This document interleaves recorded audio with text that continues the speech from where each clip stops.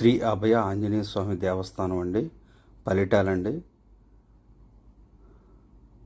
ఇప్పుడు మనం చూసేది విజయవాడ రోడ్ నుండి హైదరాబాద్ వెళ్ళే రోడ్ అండి.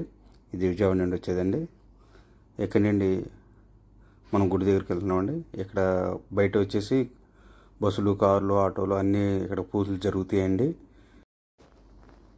మనం ఇప్పుడు గుడిలోనికి వెళ్తున్నామండి ఇది ఆర్చ్ అండి. ఆర్చ్ గేట్ లోనికి వెళ్తున్నామండి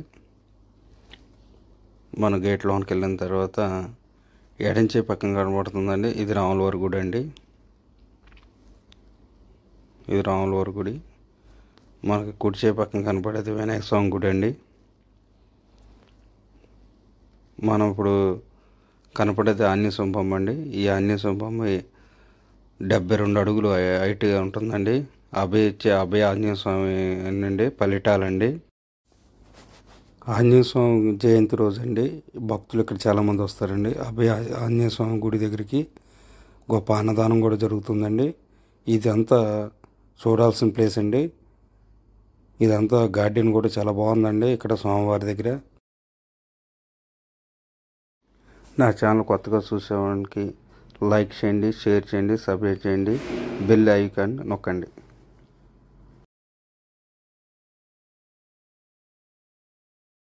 మనం ఇప్పుడు ముందుకు వచ్చామండి ఆంజనేయ స్వామి బొమ్మ దగ్గరికి. ఇక్కడి నుండి చూడండి.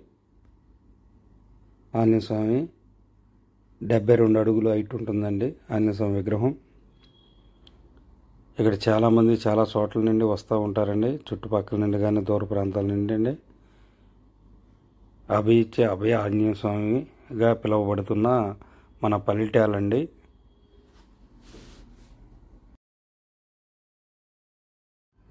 స్వామివారి దగ్గరికి ప్రతిరోజు భక్తులు వస్తూ ఉంటారండి.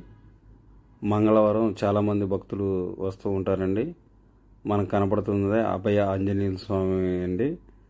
స్వామివారు వచ్చి డెబ్బై రెండు అడుగుల హైట్లో ఉంటుందండి. స్వామివారి దగ్గర ఏ పని అనుకున్నా ఆ పని నెరవేరుతుందండి. ఇది హైవే రోడ్డు పక్కనే ఉంటుందండి.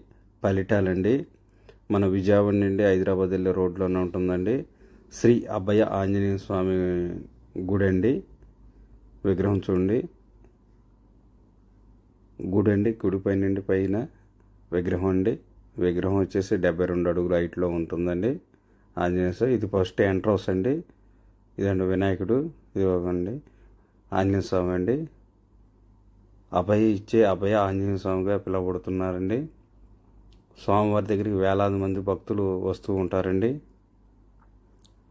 శ్రీ అభయ ఆంజనేయ స్వామి దేవస్థానం అండి. పల్లె మనం విజయవాడ నుండి హైదరాబాద్ వెళ్ళే రోడ్లో అండి.